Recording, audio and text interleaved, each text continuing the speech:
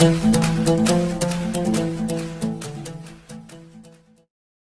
सभी लोगों का स्वागत है आपके अपने परिवार फ्यूचर ऑनलाइन क्लासेस सोनपुर में।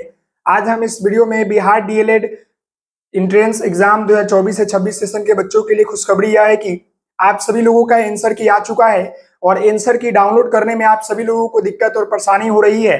तो आप सभी लोगों को हम बताना चाहेंगे कि आंसर की डाउनलोड करने के लिए आपको जो है लैपटॉप की ज़रूरत पड़ेंगे। नहीं तो साइबर कैप में जाकर आप जो है डाउनलोड इजी वे में करवा सकते हैं पीडीएफ अपने मोबाइल पर ले लीजिए और आंसर मिला लीजिए। कहने का मतलब है कि मोबाइल फ़ोन में जो है अभी आपका लिंक जो है पूरी तरीके से सही तरीके से काम नहीं कर रहा है लेकिन लैपटॉप में खोलने पर आपका एक बार में खुल जा रहा है। तो अगर आस, आप, अगर आपके घर के आसपास अगर है सर्विस सेंटर जहाँ पर आप लोग फॉर्म वगैरह भरते हैं वहाँ जाइए और वहाँ जाकर जो अपना पीडीएफ निकलवा सकते हैं।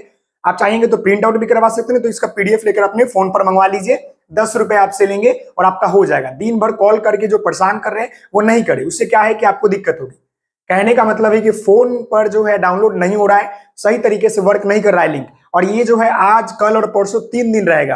भागे नहीं जा रहा है। कल कर लीजिएगा, लेकिन हाँ अगर ज़्यादा ज़रूरी है तो आप सभी लोग अपने जाइए साइबर कैफ, वहाँ जाकर दस रुपए दीजिए और एप्लीकेशन आईडी पासवर्ड और डेट बताइए कब आपका एग्ज़ाम था, वो आपको पीडीएफ डाउनलोड करके दे देंगे और आप अपना मिलाकर इस वीडियो के नीचे आंसर की आंसर नंबर कमेंट करें कितने आपके मार्क्स आ रहे हैं। तो मिलते हैं नेक्स्ट वीडियो में, तब तक के लिए धन्यवाद। थैंक यू सो मच जय हिंद, जय भारत। Okay take care